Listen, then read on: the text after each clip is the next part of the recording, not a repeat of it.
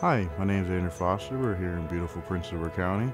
I'm 10th generation on a century farm here, born and raised, growing up here all my life. I enjoy many sports around the county, such as ice hockey, fishing, hunting. Currently, I'm in grade 12 at Prince Edward Collegiate Institute, the local high school here in the county. I plan on going away to Carleton for mechanical engineering to get my master's degree in that.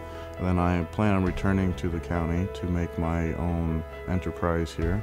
I look forward to coming back to the county because as many things I enjoy, such as the local wineries, beaches, museums, there's many activities to do in the county that you can't do in other places. One of the things I enjoy about the county here is most people go to the city and a traffic jam is a 40 car pileup, where me, a traffic jam is I go down the road and I'm stuck behind a tractor and a grain wagon. In the summertime, there's lots happening here in the county. Here at the campground, we have activities such as camping, fishing, lots of bass fishing, local tournaments being hosted. There's always stuff to see, such as local harvesting and family activities going on, swimming pools, splash pads, it's all happening. Very busy time of the year. The campground was developed a few years ago. It's about 20 years old now, and it all started back when there was ice fishing was popular here in the area. All the area now that you see as campground was pasture field and strawberry fields.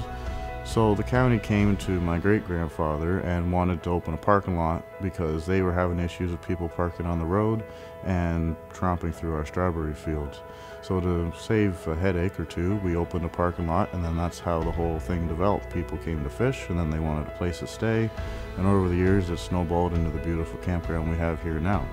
To maintain our farming aspect of it, we've always done cash crop, but now we still rent out the land. Cash crop back in the day was a good way of life, but now with the way the local economy is going, it's just not as sufficient as it used to be. The County's being more tourist driven now, so the campground is a much better option for us. Since we're right here on the Bay of Quinte, it's a natural fit with the campground and the fisheries and local environment.